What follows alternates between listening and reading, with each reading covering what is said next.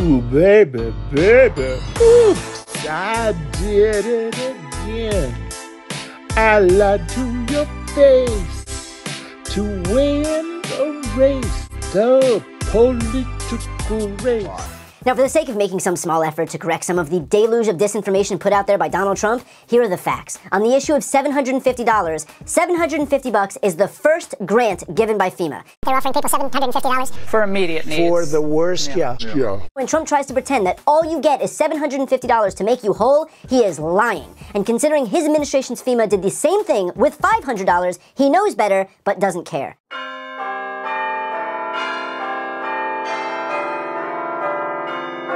It is intended to get you money immediately so that you have instant cash to buy necessities like food and drinks and diapers and formula, toiletries, medicine, things like that.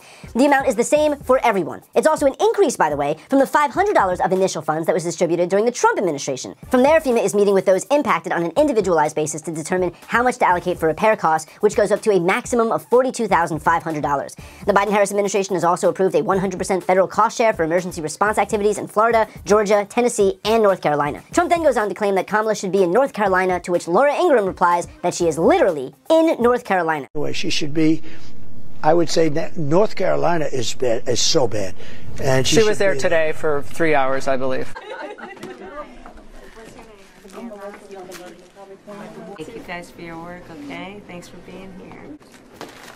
So we've been deploying resources for over a week, or no, an entire week now. Mm -hmm. um, and this is our hub and we're really grateful for our community partners who gave us a space. So you have different sources of donations, right? We do. To this effort? We do. And she, she was there today for three hours, I believe. When Laura Ingraham, Laura Ingraham fact checks you on air, Let me make this as clear as humanly possible. Trump doesn't know what's happening on the ground. He doesn't care what's happening on the ground. His goal is to attack Democrats and praise Republicans because he's got an election coming up and his freedom, literally his freedom, depends on winning in November and his party carrying him to victory in November. So he will use every occasion, making every minute, every second of the day worthwhile to attack Democrats and praise Republicans because all he has is a hammer and everything looks like a nail. Trump politicized this hurricane faster than his escapade with Stormy Daniels, and he continues to do so on a daily basis. He goes on to claim, quote, they don't have any people here, referring to the Biden-Harris administration in terms of who's there to help. In reality, the White House has directed the Defense Department to deploy up to 1,000 active duty soldiers to support response efforts. In all, more than 5,300 federal personnel are on the ground supporting the response. More than $20 million in individual assistance has been provided to households of survivors. FEMA has shipped over 9 million meals, 11 million liters of water, a quarter of a million tarps, and 150 generators. All of which is to say, the notion that the government isn't responding is a lie peddled by people who are looking to help themselves politically. And don't take my word for it, take the word of these Republican officials. I just spoke, the president just called me uh, yesterday afternoon. I missed him and called him right back. And he just said, Hey, what do you need? And I told him, you know, we, we got what we need. We'll work through the federal process. He, he offered that if there's other things we need, just to call him directly, which I appreciate that. But we have been, uh, Sean, I have to say, working well with FEMA. Uh, they, in fact, were moving very quickly over the last few days for us, and getting these resources has been critically important. I'm, I'm incredibly appreciative of the rapid response and the cooperation from the federal team at FEMA. Um, I've been on the phone over the weekends with the senior FEMA administrator.